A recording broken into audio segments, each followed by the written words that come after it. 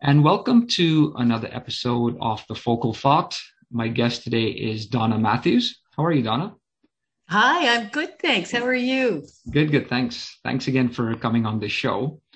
Um, just in the way of an introduction, Dona, you've worked with children, families, and schools, and you run a private practice with a focus on giftedness and other special needs and you were the executive director, Millennium Dialogue on Early Child Development, University of Toronto, and founding director, Hunter College Center for Gifted Studies in Education, City University of New York.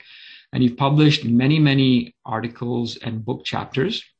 And you are the co author of some books, Being Smart About Gifted Education, The Development of Giftedness and Talent Across the Lifespan, the Routledge International Companion to Gifted Education, and recently Beyond Intelligence Secrets for Raising Happily Productive Kids. So, welcome.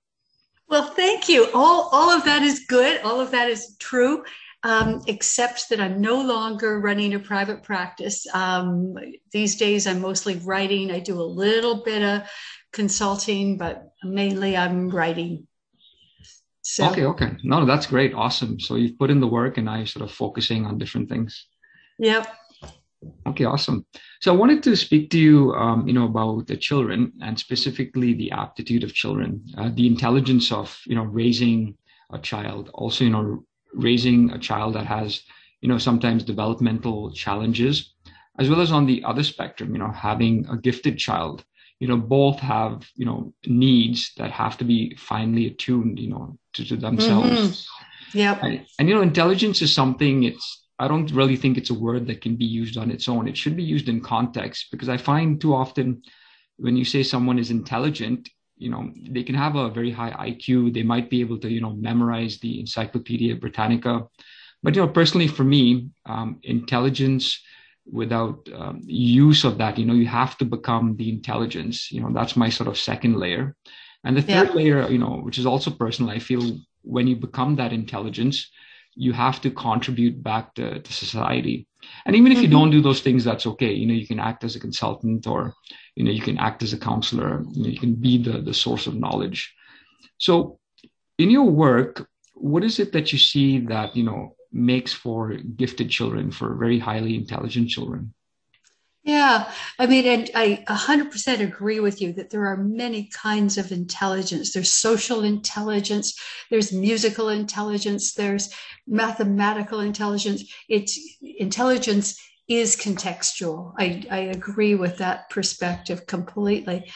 Um, the um, you know, one of the things I've been focusing on lately is writing books for parents who want to support the development of their kids' intelligence and and not necessarily raise gifted kids, but sort of encourage their children's intelligence to develop as well as possible and and as you mentioned earlier as usefully as possible.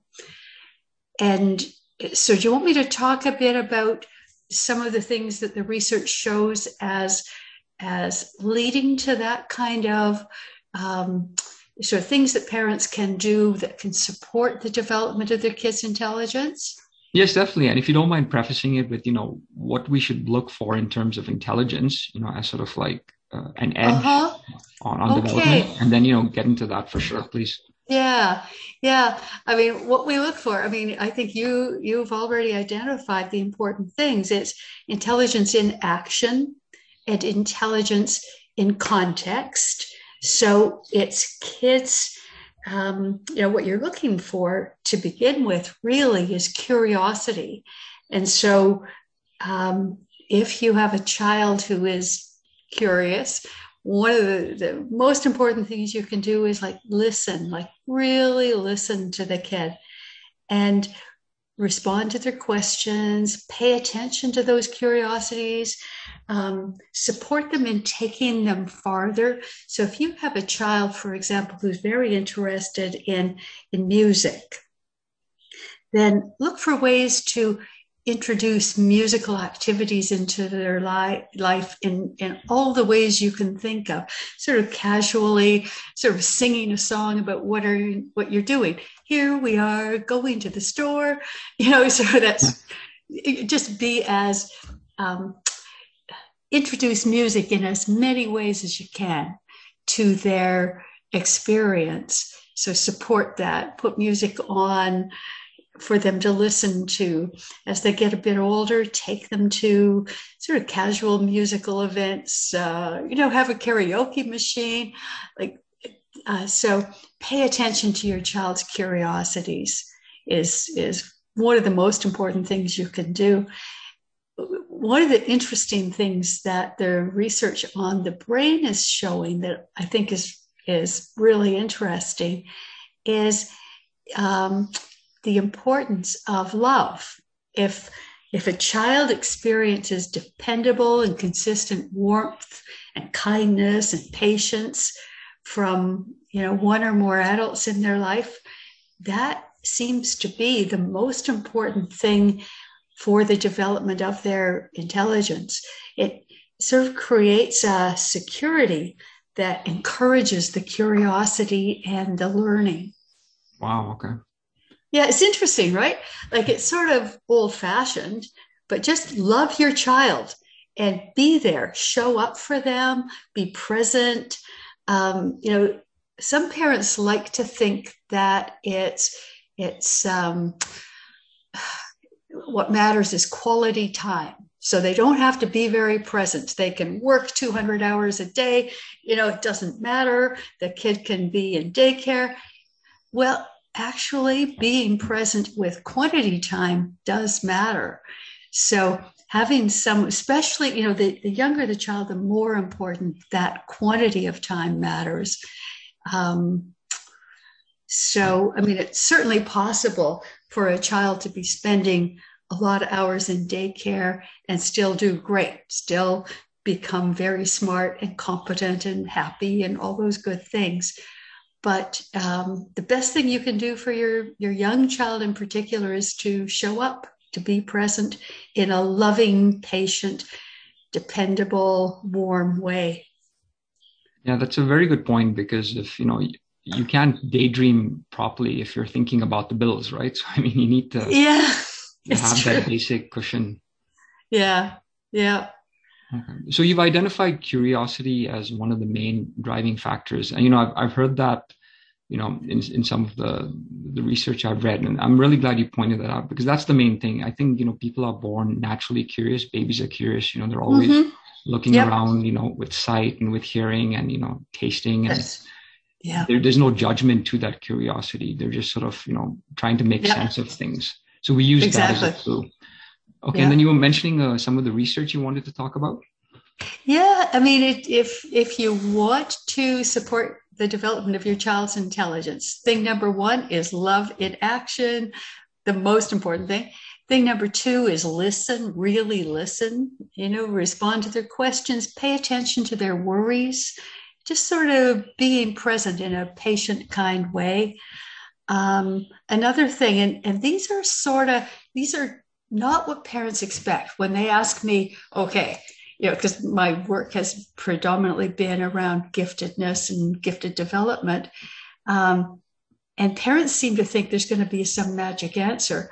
Well, there, there sort of is, but it's all about love you know, and listening. It's it's very old fashioned values that best support the development of children's intelligence. Um, something else, again, that, that some parents don't seem to realize is the importance of playtime. Um, so, play is the work of childhood. Many experts have said that through the years. And kids need to play in order to learn. So, early learning in particular is very playful, no matter the domain, whether it's math or nature or whatever it is, it's playful. So kids kids need lots of time for play. It's not a waste of time if your child wants to play. In fact, encourage that. Uh, kids need lots of outdoor time and sort of physical exercise those are really important brain builders too. Um, they need time for playing with other kids or the social interaction. Social interactions are what drive language development, and a whole bunch of other things. A desire to be competent comes from interacting with others.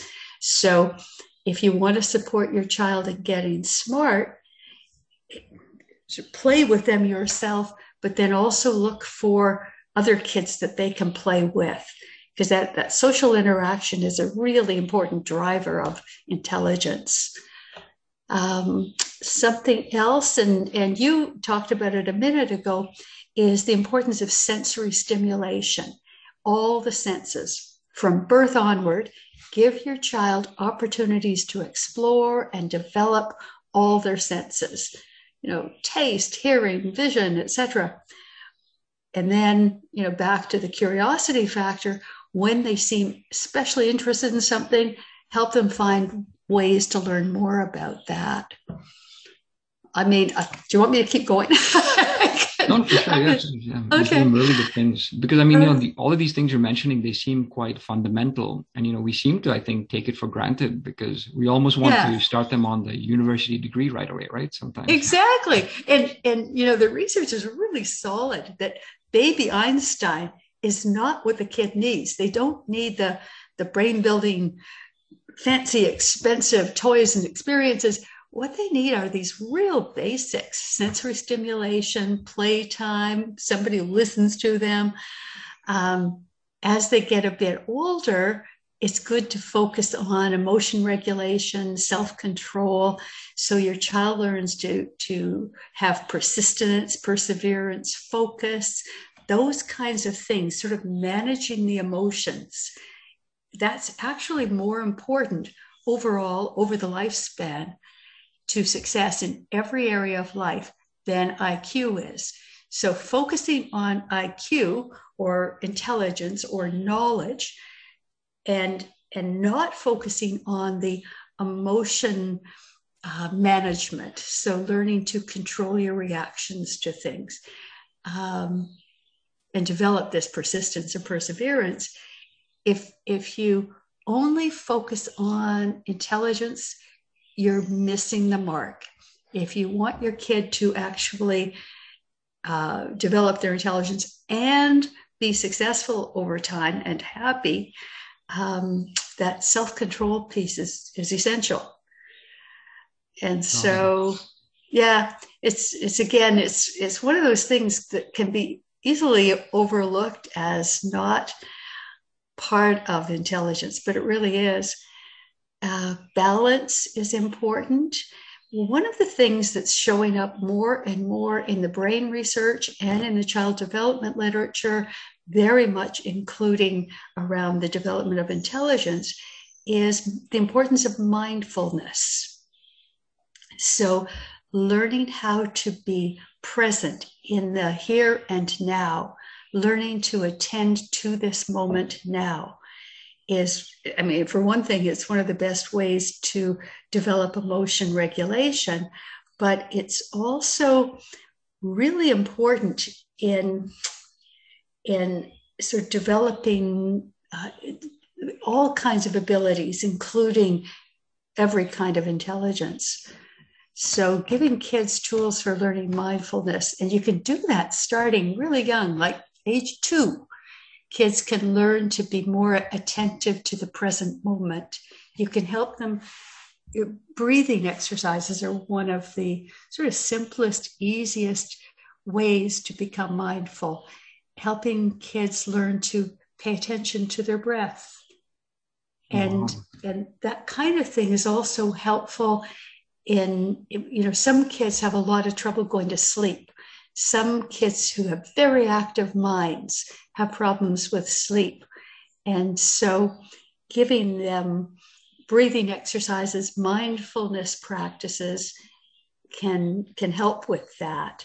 And so that's like a bridge to, you know, in, in terms of supporting your kids' development intel, of their intelligence. This sort of sounds again not something that a lot of people would think about, but nourishing food enough sleep, physical exercise, all those physical things are really important brain builders. Wow, this is great because you've touched on so many varied categories, you know, like with diet, uh, yeah. physical exercises, um, mindfulness, you know, some meditation. You've touched yeah. on play, curiosity, you know, social interactions. It almost seems like intelligence is basically a byproduct if you manage these these basic facilities. Yeah, I think I think that's a really good way to look at it. That sort of all the things that are important to healthy development of a child lead to the development of their intelligence.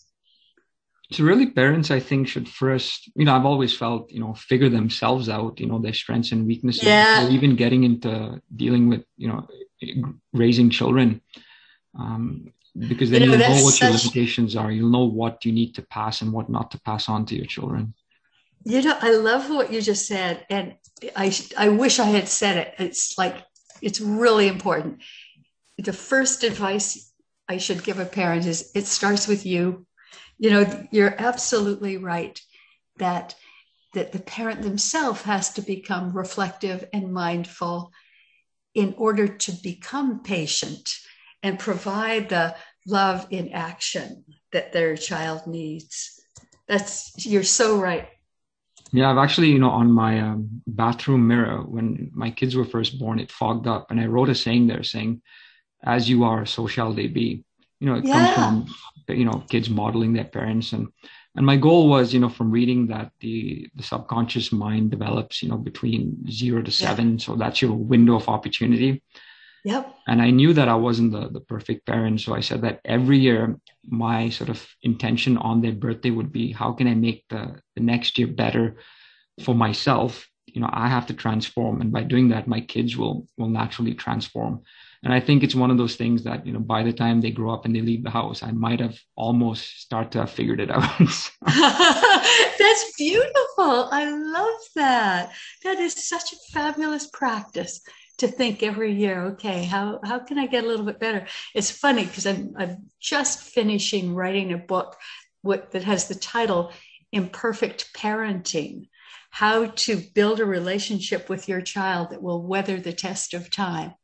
And, and you have described like imperfect parenting is, is exactly what I'm trying to say to parents is you are not perfect. Of course you're not. You're human.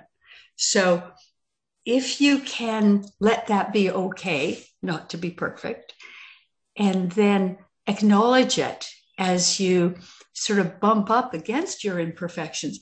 And, you know, one of the things, so you've got kids who've already left home. So you know deeply that your children, once they become like preteens and then teenagers, they are going to point out your flaws with with such severity. You know, if you had any illusions of perfection, they are lost by the time you have teenage kids. wow. no, that's good.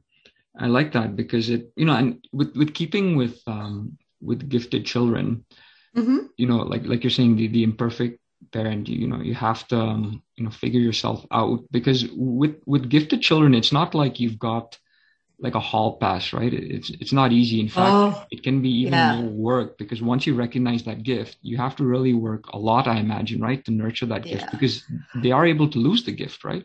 If not well, developed. Yeah. Properly. Okay. Um, you have to work a lot. The um, yeah, sort of the the early focus of my my work in this field was on addressing the learning needs and the social emotional needs of kids who are exceptionally advanced compared to other kids of their age. And there are problems. Problems come up. A kid who, for example, is linguistically advanced.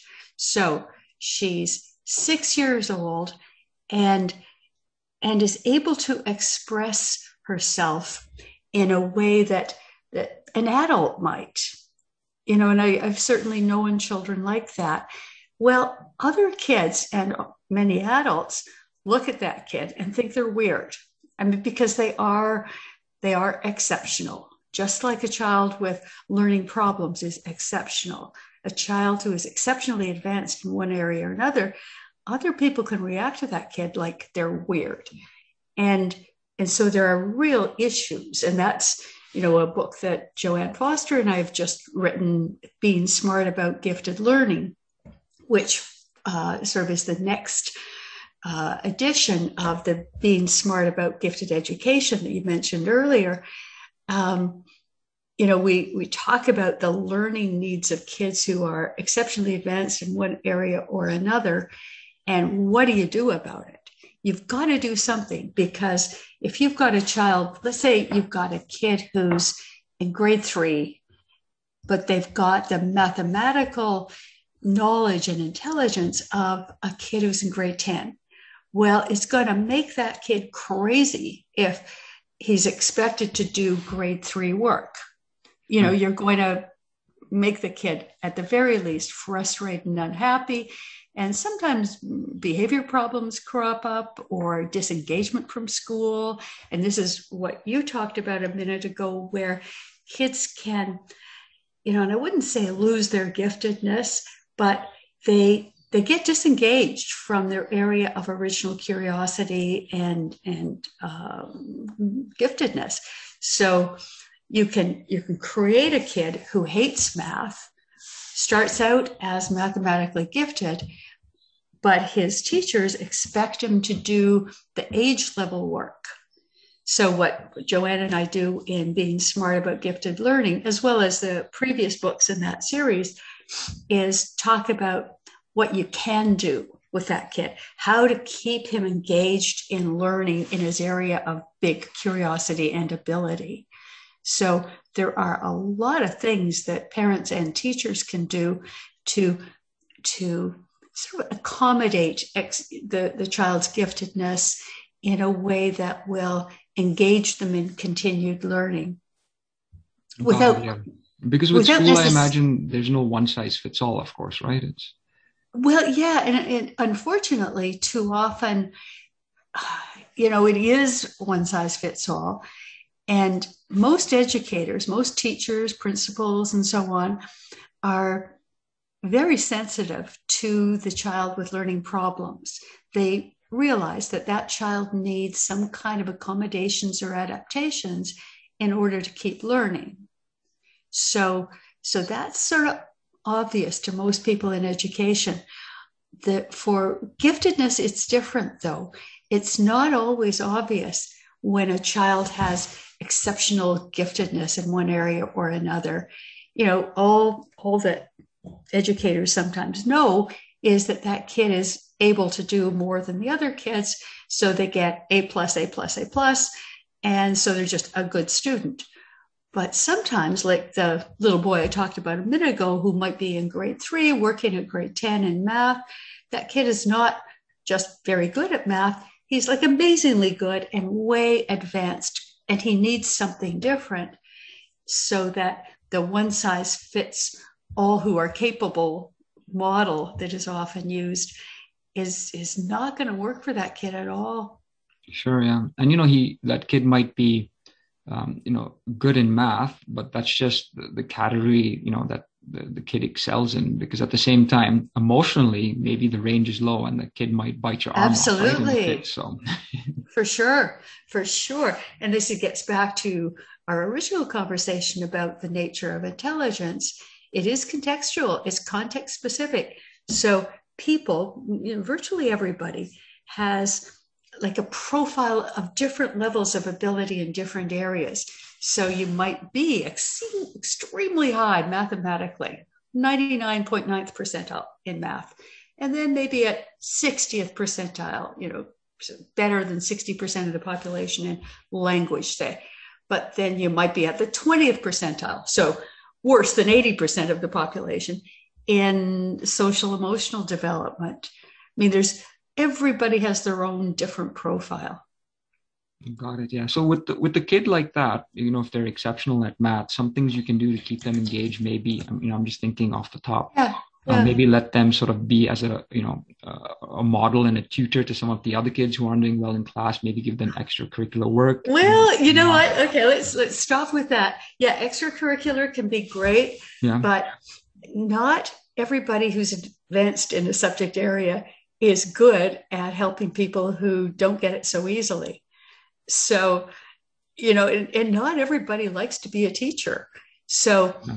you know, certainly some of the exceptionally capable kids I've worked with have been used as teachers' aides by their teacher yeah. and hate it. You know, they just they're working with this kid who isn't getting it and they're slow. And the the kid with the gifted learning ability isn't enjoying that other child's slow learning process. That's not fun for them. Yeah, I mean, it is for some. Some people are natural teachers and they enjoy supporting development of learning in kids who are having problems with it.